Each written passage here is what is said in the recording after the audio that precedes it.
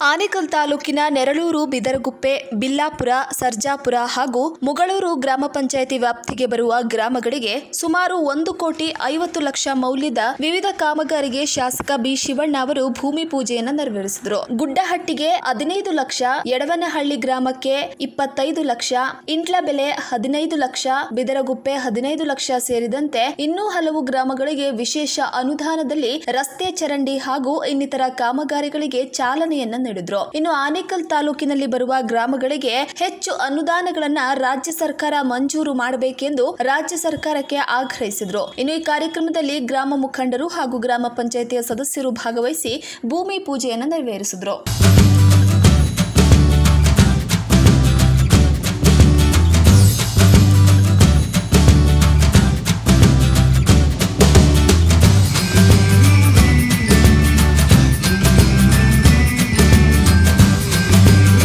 ಪಂಚಾಯತಿ ವ್ಯಾಪ್ತಿಯ ಸುಮಾರು ನಾಲ್ಕು ಹಳ್ಳಿಗಳಲ್ಲಿ ಭಾಳಷ್ಟು ರಸ್ತೆಗಳು ಯಾವ ಹದಗೆಟ್ಟಿದ್ವು ಅವುಗಳಲ್ಲಿ ಅವುಗಳನ್ನು ಸರಿಪಡಿಸಬೇಕು ಅಂತೇಳಿ ನಮ್ಮ ಶಾಸಕರಲ್ಲಿ ಮನವಿ ಮಾಡಿದಾಗ ಅವರು ಸುಮಾರು ಸರ್ಕಾರದಿಂದ ಅನುದಾನ ಬರದೇ ಅಂತ ಸಮಯದಲ್ಲಿ ಸರ್ಕಾರದ ಮೇಲೆ ಒತ್ತಡ ಹಾಕಿ ಅರವತ್ತು ಲಕ್ಷ ರೂಪಾಯಿಗಳನ್ನು ನಮ್ಮ ನೆರಳೂರು ಗ್ರಾಮ ಪಂಚಾಯತಿಗೆ ನೆರಳೂರು ಗ್ರಾಮ ಪಂಚಾಯತಿ ತಂದುಕೊಡಿದರೆ ಅವರಿಗೆ ನೆರಳೂರು ಗ್ರಾಮ ಪಂಚಾಯತಿ ಎಲ್ಲರ ಎಲ್ಲ ಜನ ಪರವಾಗಿ ಅಭಿನಂದನೆಗಳನ್ನು ಸಲ್ಲಿಸ್ತೇನೆ.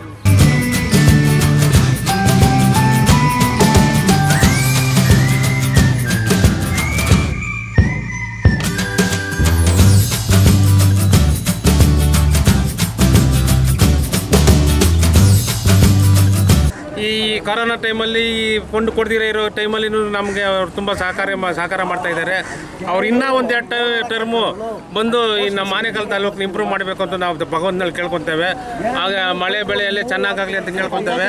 ನಾವು ನಾವು ನಮ್ಮ ಪಂಚಾಯತಿಯವರು ನಾವು ಎಂ ಎಲ್ ಎ ಕೋಟದಲ್ಲಿ ನಮ್ಮ ತಾಲೂಕ್ ಪಂಚಾಯತಿ ಕೋಟದಲ್ಲಿ ಕೆಲಸ ಮಾಡ್ತಾ ಇದ್ರೇನು ಈ ಬಿ ಜೆ ಪಿಯವ್ರು ಬಂದು ನಾವು ಕೆಲಸ ಮಾಡೋ ಹತ್ರ ಟೇಪುಗಳು ಇಳ್ಕೊಂಡು, ಅಳ್ಕ ಅಳತೆ ಮಾಡಿಕೊಂಡು ಅವರು ನಮ್ಮ ಕೋಟ ಅಂತ ಹೇಳ್ಕೊತಾ ಇದ್ದಾರೆ.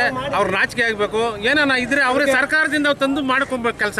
ನಾವು ಮಾಡೋ ಕೆಲಸದಲ್ಲಿ ಬಂದು ಅವ್ರ ಟೇಬುಗಳು ಇಟ್ಕೊಂಡು ಅವರು ನಮ್ಮದೇ ಕೆಲಸ ಅಂತ ನಮ್ಮ ಜನಗಳು ಕೇಳ್ತಾರೆ. ಜನಗಳು ಆಗ ಆಗಲೇ ಉಗಿತಾ ಇದ್ದಾರೆ ಅವ್ರಿಗೆ. ನಾವು ಮಾಡಿರೋ ಕೆಲಸ ಅವ್ರು ಬಂದು ನೋಡ್ಕೊಂಡು ಹೋಗಿದ್ದಕ್ಕೆ.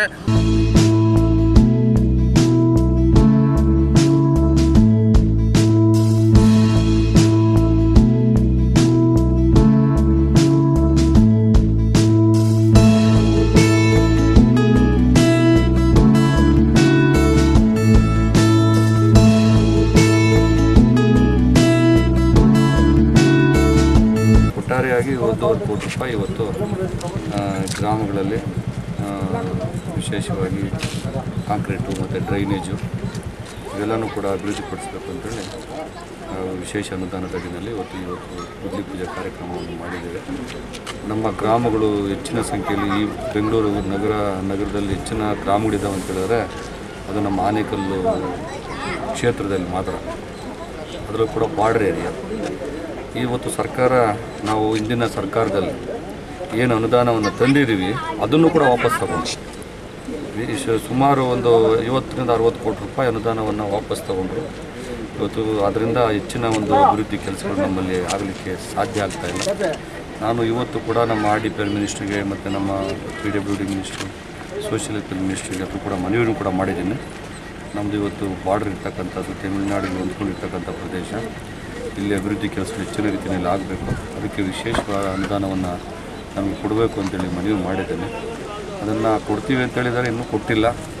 ಈ ಸಂದರ್ಭದಲ್ಲಿ ನಾವು ಕೂಡ ಯಾಕಂದರೆ ಕೋವಿಡ್ಡು ಕೊರೋನಾ ಹೆಚ್ಚಿನ ಸಂಖ್ಯೆಯಲ್ಲಿ ಬಾ ಸಂದರ್ಭದಲ್ಲಿ ನಾವು ಕೂಡ ಹೆಚ್ಚಿನ ರೀತಿಯಲ್ಲಿ ಒತ್ತಡವನ್ನು ತರಲಿಕ್ಕೆ ಪ್ರಯತ್ನವನ್ನು ಮಾಡಿಲ್ಲ.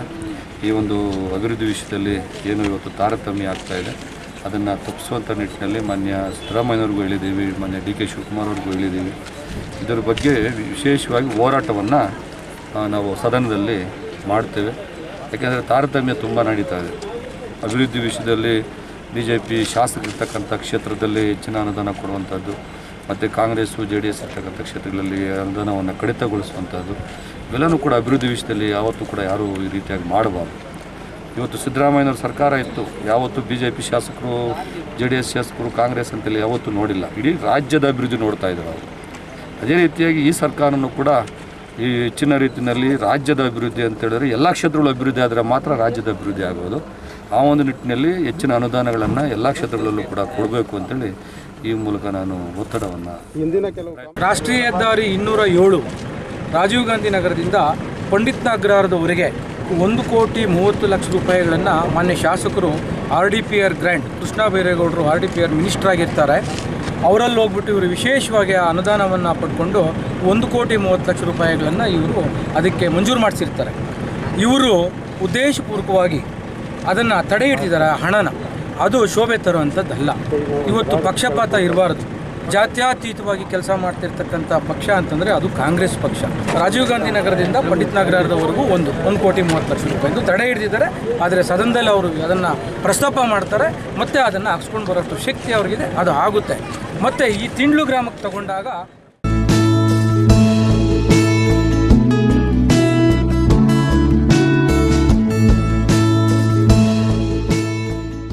ನೀವು ಈ ಕೂಡ ಎಲ್ಲ ನಮ್ಮ ಚಾನಲ್ಗೆ ಸಬ್ಸ್ಕ್ರೈಬ್ ಆಗಿಲ್ಲ ಅಂದರೆ ಸಬ್ಸ್ಕ್ರೈಬ್ ಬಟನನ್ನು ಕ್ಲಿಕ್ ಮಾಡಿ, ಪಕ್ಕದಲ್ಲಿರೋ ಬೆಲ್ ಐಕನನ್ನು ಕ್ಲಿಕ್ ಮಾಡಿ, ನಾವು ಅಪ್ಲೋಡ್ ಮಾಡುವಂತಹ ವೀಡಿಯೋಸ್ ನಿಮಗೆ ನೋಟಿಫಿಕೇಶನ್ ಬರುತ್ತೆ.